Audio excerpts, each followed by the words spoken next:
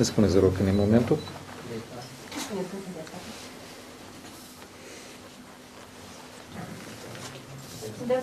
E bine? Bună ziua tuturor, Hristos a înviat. Stimați colegi, stimați reprezentanți ai mass media, victoria covârșitoare a Mai Sandu a arătat că majoritatea cetățenilor Republicii Moldova vor o schimbare spre bine. Moldova, lovită de criză, pandemie, sărăcie, secetă, dar mai ales de hoții fără de limite, hoții de miliarde, are nevoie de o gură de aer. Parlamentul trecut a fost uh, zămăslit după chipul și asemănarea lui Plahotniuc, Șor, Dodon. Uh, plin de probleme, hoți, scheme și interese. Anticipatele au fost cerute de toată lumea, de toată societatea. În campania prezidențială, doamna Maia Sandu a promis foarte clar alegeri anticipate, anume pentru a scăpa și a curăța Parlamentul de hoți și de corupție. Partidul Acțiunii și Solidaritate a cerut anticipate în toată această perioadă, alături de societatea civilă, de alte partide politice, de oamenii de acasă și cei din diaspora. Într-un final, cetățenii au învins, au ieșit învingători și noi am ajuns la momentul alegerilor anticipate. Este crucial ca în aceste alegeri, la 11 iulie, să avem un scrutin corect, un scrutin liber. Este esențial ca vocea fiecărui cetățean să fie exprimată liber, iar Parlamentul să ajungă unul reprezentativ și curat. În acest sens sunt importante patru lucruri. Primul, să desfășurăm o campanie corectă, fără atacuri, fără falsuri, fără denigrare și fără acțiuni de corupere. 2. Instituțiile să asigure că împiedică și sancționează pe cei care încalcă norma electorală. 3. Să asigurăm posibilitatea de a-și exercita dreptul la vot pentru toți cetățenii. Drept consfințit în Constituție. Și 4. Funcționarii din instituții să trateze cu respect legea și cetățenii și să nu răspundă la ordine care pot veni din partea unor concurenți electorali. Eu mă voi referi la primul, uh, primul aspect, colegii vor vorbi despre restul. PAS pornește o campanie corectă și curată. Pentru că doar o campanie corectă poate asigura alegeri corecte. Pentru că respectăm cetățenii noștri și dreptul lor de a alege liber și informat. În primul rând, PAS accentuează că inamicii noștri sunt hoții, care și grupările care susțin personaje corupte, inclusiv din partide politice. Lupta noastră este cu, cu ei. Lupta noastră este cu cei care au sărăcit această țară timp de zeci de ani. PAS nu va ataca partide care au viziuni similare cu ale noastre, pentru că oamenii s-au săturat de gâlceavă și de certuri. Oamenii vor să construim, să muncim împreună pentru o țară în care toți să trăiască bine. În al doilea rând, PAS se angajează să lupte corect și onest într-o luptă dreaptă. Condamnăm atacurile murdare, denigrările, dezinformările, distribuirea știrilor false, deteriorarea materialelor electorale ale concurenților. Aceste practici sunt folosite de cei fricoși și slabi, de cei care se tem de votul cetățenilor. În al treilea rând, PAS vine cu un îndemn către membrii și susținătorii noștri. Stimați susținători, uh, vă îndemnăm, vă rugăm frumos să dați dovadă de acea înțelepciune și cal de care ați dat dovadă și în alegerile prezidențiale. Noi vom promova un limbaj respectuos, cumpătat și înțelegător. Explicăm cu răbdare opțiunile și argumentele noastre, uh, ascultăm opiniile cetățenilor, uh, respingem minciunile uh, și tratăm cu respect critica care ne este adresată nouă. Misiunea noastră este să unim în loc să divizăm, să ascultăm, să luptăm împreună pentru a scăpa țara de hoț. Asta definește pasul. În același timp, îndemnăm și liderii altor partide politice să vină cu mesaje similare către susținătorii lor. Vrem să fim o țară în care ne respectăm reciproc, indiferent de opțiunile noastre. Dragi cetățeni, PAS pornește o campanie corectă și curată. Împreună putem câștiga alegerile din 11 iulie. Uh, alegeri importante pentru tineri, pentru fermieri, antreprenori, profesori, vârstnici, tineri, uh, vremuri bune pentru toată țara, vremuri bune într-o țară în care să vrem să trăim cu toții. Vă mulțumesc! Sergiu?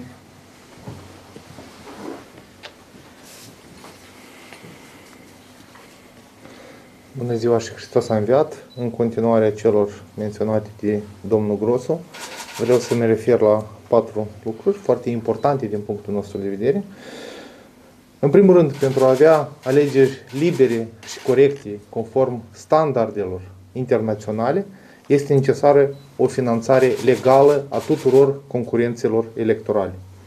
Nu știu dacă are sens să mă adresez către partidele care tradițional și istoric s-au finanțat din culeace, din bani din Bahamas sau prin bani extrași din instituțiile statului, pentru că aceste partide altfel decât în acest mod, prin corupție, cu bani murdari, nu pot face campanii. Ehm, însă cetățenii își doresc o schimbare, ei nu mai vor hoți la conducere și ei știu foarte bine despre aceste lucruri și despre cine sunt hoții de fapt. În schimb, instituțiile statului, instituțiile statului Republica Moldova, care sunt finanțate din banii cetățenilor, sunt obligate să acționeze de fiecare dată când legea este încălcată. Vreau să aduc aminte că în 2019 au fost micșorate plafoanele pentru finanțarea partidelor și a concurenților electorali, așa încât partidele să fie finanțate corect din donații mici și multe, așa încât să nu permitem, cum a fost anterior, vreunui oligarh să vină cu sacii de bani în modul ăsta să dețină controlul total asupra partidului și ulterior când un partid anume aduce, ajunge la guvernare, să fie răsplătit prin contracte ilegale cu statul. Prin urmare, solicitarea noastră este către aceste instituții ale statului care au competențe în acest domeniu să asigure respectarea în tocmai a legislației care se referă la finanțarea partidelor politice, atât ca literă cât și ca spirit. De asemenea, membrii oricărui partid care sunt impuși să semneze fel de fel de acte care ca și cum arată că ei donează unui partid, dar de fapt nu donează, să cunoască că lucrul ăsta nu este legal și mai târziu sau mai devreme vor trebui să răspundă. De asemenea, cetățenii trebuie să fie vigilenți pentru că cunoaștem de pe acum că exponenții acelor partide finanțate obscur de-a lungul timpului, nu le dau nume, cred că toată lumea le cunoaște, împart și acum culeace cu tușoncă, orez, macaroane și altele asemenea. De aceea, organele de drept trebuie să cerceteze aceste fapte extrem de grave, atât acum cât și când va demara propriu zis campania electorală, pentru că aceste lucruri sunt încălcări foarte grave a legislației, repre, reprezintă un atentat la adresa principiilor alegerilor libere și corecte și, în ultimă instanță, reprezintă chiar și o infracțiune prevăzută de codul penal. Al doilea lucru, aici cred că vom mai reveni, dar trebuie să fie foarte clar de pe acum a tuturor concurenților electorali că transportarea organizată cu autobuse și microbuze a alegătorilor este o chestiune care contravine într-un final codului electoral. Este normal când un vecin își duce alt vecin la alegeri cu mașina proprie, este normal când o familie urcă în mașină și merg toți împreună la o secție de votare, dar nu este normal când o persoană vine de 5, 10 ori sau 20 de ori la secția de votare și de fiecare dată spune că el transportă rudele sau uh, vecinii. De aceea, acea experiență care am avut-o noi în cadrul scrutinului prezidențial, când Comisia Electorală Centrală, printr-o hotărâre, a interzis transportarea ilegal, ilegală și organizată, eu cred că trebuie să continue. De aceea, atunci când va demara campania electorală, PAS va înainta și de această dată un proiect de hotărâre pentru a fi aprobat de către Comisia Electorală Centrală, astfel încât să existe claritate cu privire la aceste aspecte. Evident că noi am văzut cum s-a implementat acel, acele reguli adoptate de Comisia Electorală Centrală în cadrul alegerilor prezidențiale și bineînțeles că putem deja de pe acum să venim cu anumite propuneri de îmbunătățire, de clarificare, de precizare a unor aspecte care nu s-au realizat uh, la modul perfect. Deci acum putem să ajustăm acel regulament ca să existe claritate pentru toată lumea. Este cert că transportarea organizată, combinată cu acordarea de diferite daruri electorale, este o încălcare a codului electoral care se referă la exercitarea în mod liber a dreptului de vot. Următoarea chestiune se referă la activitatea Comisiei Electorale Centrale, organul care asigură organizarea și desfășurarea alegerilor. Cunoaștem că zilele trecute, dar și în aceste zile, exponenții ai grupării criminale Dodon Plahotniuc Șor vin cu diferite oferte, presiuni către unii membri CEC pentru a încerca să paralizeze activitatea CEC-ului. Dar se întâmplă chiar în ziua de astăzi și aceste presiuni nu se referă nemijlocit la exponenții PSRM-ului din CEC, ci la alți exponenți. În acest context, pe de o parte, solicităm exponenților acestui, acestor grupări să înceteze aceste presiuni, pe de altă parte, solicităm membrilor Comisiei Electorale Centrale să acționeze în conformitate cu legea, cu codul electoral, să nu se lase provocați de presiunile exponenților grupărilor criminale menționate. Și ultima chestiune uh, vizează utilizarea resurselor administrative. Nu este un secret pentru nimeni că resursa administrativă a fost utilizată uh, cu greu de cei care se tem de o judecată, de o judecată corectă și dreaptă a uh, oamenilor. Unica excepție a fost alegerile locale din octombrie 2019, atunci când era la guvernare guvernul Sandu.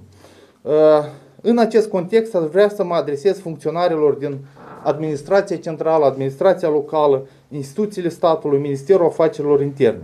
Știu că mulți dintre voi munciți cinstit și vă câștigați existența la fel cinstiți, uh, dar se mai întâmplă să fiți presați de conducere să întreprindeți acțiuni ilegale, inclusiv în contextul alegerilor de 11 iulie. Noi am lucrat cu mulți dintre voi, știu că v-ați săturat de șefi corupți care au ajuns în funcții fără merite, care știu doar să pună presiuni și să acționeze în favoarea unor partide politice. Cunoaștem că voi vă doriți instituții puternice, instituții funcționale care să lucreze în slujba cetățeanului. Cetățenii se bazează în continuare pe profesionalismul vostru. Și știu că nu vă este simplu. Însă vă rog foarte mult să nu uitați că dumneavoastră împreună sau la fel ca și noi munciți pentru cetățenii acestei țări, pentru un viitor mai bun pentru copiii noștri și pentru copiii copiilor noștri. De aceea nu aveți frică de șefii corupți. Respectați legea, interesul țării și al cetățeanului. Acești șefi corupți vor pleca foarte curând din funcții instituțiile vor fi libere de șantaj, ele vor fi eliberate, iar voi vă veți putea face munca în mod cinstit și cu demnitate. Fiți ferm, respectați în primul rând legea, nu indicațiile ilegale ale șefilor.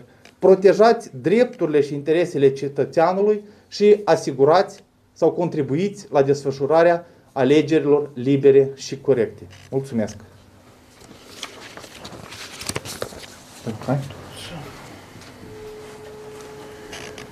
Vă mulțumesc pentru posibilitatea de a mă expune sau de a expune un punct de vedere venit din diaspora asupra problemelor în discuție. Fiindcă cetățenii moldoveni care lucrează peste hotare sau învață în instituțiile de învățământ peste hotare, au avut posibilitatea și au posibilitatea nu numai să beneficieze de bunurile materiale sau de un loc de muncă, de învățătură din Occident. Dar ei au avut posibilitatea să beneficieze și de realizările culturii occidentale. Și de ce nu?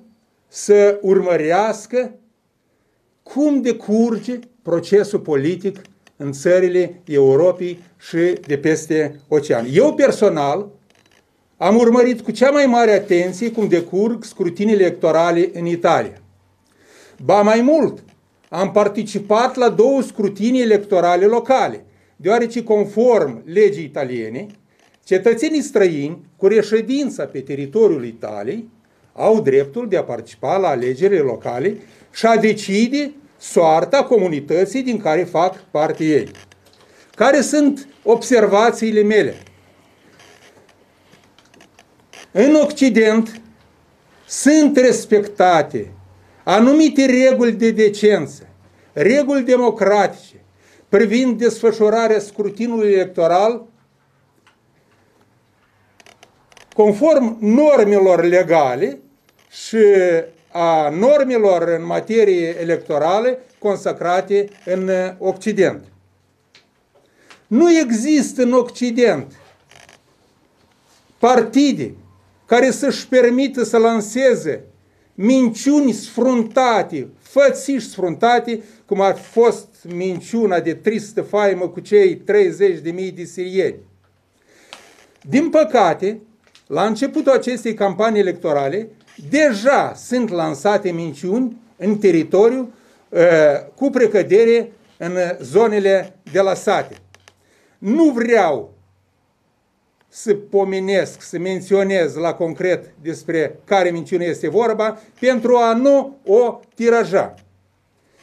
În acest context, vreau să mă adresez și partidelor, liderilor, membrilor de partid și simpatizanților partidelor de orientare națională și occidentală și europeană. Partidul PAS, așa cum am observat, și cum am analizat eu, nu este un oponent al vostru, ci este partenerul vostru cel mai de nădejde. Și vreau acum să vă dezvăl un secret. De ce a învins Maia Sandu cu un scor atât de categoric în diaspora? Fiindcă cetățenii din diaspora, fiind liberi sau fiind scutiți de presiunea propagandistă a televiziunilor, și altor mijloace mass media a servite clanurilor oligarce și pe de dreptul penale, ei au avut posibilitatea să urmărească dintr-o parte care candidat electoral și care partid promovează o campanie electorală curată, democratică, onestă, așa cum se promovează în Occident.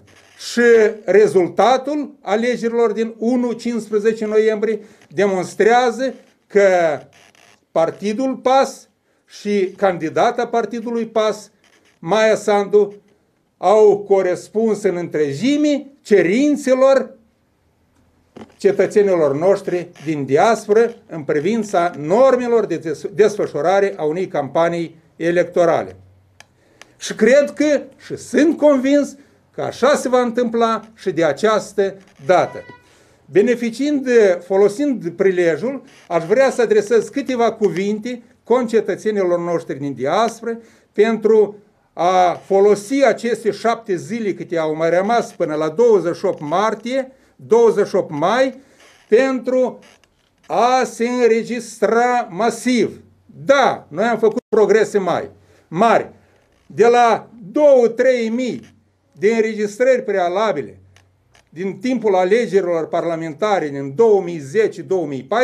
2010-2014, am ajuns în prezent la ziua de azi peste 80 de mii. Este mult, dar este puțin față de numărul nostru de concetățeni care lucrăm sau învățăm în diaspora. De aceea noi trebuie să folosim la maxim aceste 5 zile, fiindcă conform calculelor mele, de pildă în Italia, s-a înregistrat unul din 20-25 de oameni. Trebuie să ne înregistrăm cât mai mulți pentru a economisi banii, să nu-i cheltuim pentru a ne deplasa la zeci și sute de kilometri spre secții de votare, dar să ne înregistrăm și astfel Comisia Electorală Centrală va avea posibilitatea să stabilească unde sunt concentrați cetățenii moldoveni cu dorința de a vota și a deschide secția de votare cât mai aproape de locul de trai. Și astfel nu se va cheltui sute de euro, cum au cheltuit unii cetățeni din Statele Unite, din Canada, pentru a zbura sute de kilometri spre secția de votare. Astfel se va întâmpla și în Italia. Astfel, e foarte important și pentru muncitorii din Germania, Franța, fiindcă în ultimii ani, în legătură cu criza din Rusia, zeci de mii de muncitori din Rusia s-au transferat cu munca în Germania și Franța. Și Comisia Electorală Centrală trebuie să știe unde se află acești muncitori alegători.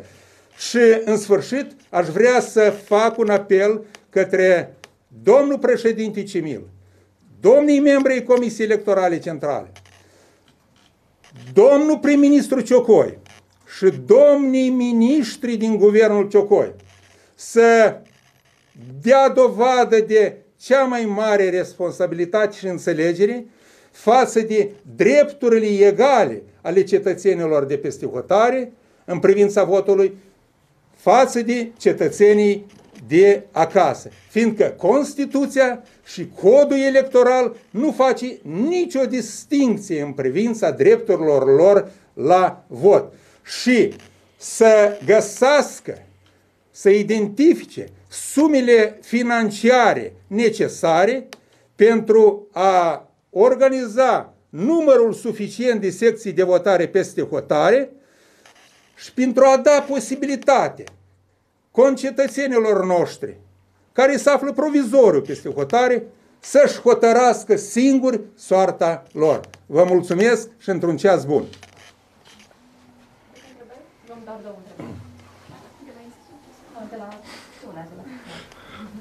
Vă rugăm. Mulți simpatizanți ai PAS au arătat dezamăgiți de unele nume, nume care se regăsesc în listă. Cum comentați? Uh, eu nu știu dumneavoastră la dumneavoastră mulți uh, simpatizanți ai PAS, uh, sunt opinii diferite. Eu vreau să vă asigur că marea majoritate a simpatizanților PAS salută oferta electorală cu care am venit noi, cea mai bună ofertă electorală.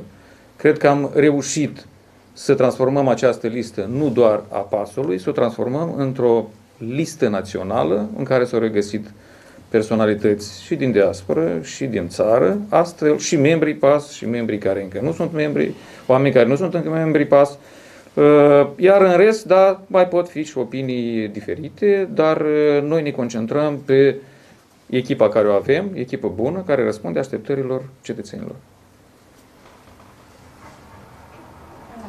Un, uh, un mic accent, revin la presiunile care se fac pe CEC. Stimați membrii CEC, cu riscul de a mă repeta, vă rugăm frumos, faceți-vă bine datoria așa cum ați reușit să o faceți uh, și în 2019 și în 2020, da? nu cedați presiunilor, iar către organele de drept. SIS, procuratură, mai puțin mai deocamdată, pentru că acolo altă agenda are ministrul de interne. SIS, procuratură, vă rugăm frumos, urmăriți cum grupările criminale sau reprezentanții grupării criminale Plahotniuc, Șor, Dodon încearcă să intim, nu să intimideze, să obstrucționeze procesul de organizare, de organizare a alegerilor anticipate. Noi știm ce fac ei, noi știm cum acționează ei, e bine și aceste instituții care sunt plătite din banii publici să cunoască și să contracareze orice tentativă de a împiedica buna organizare și desfășurare a alegerilor anticipate. Vă mulțumim și o zi bună!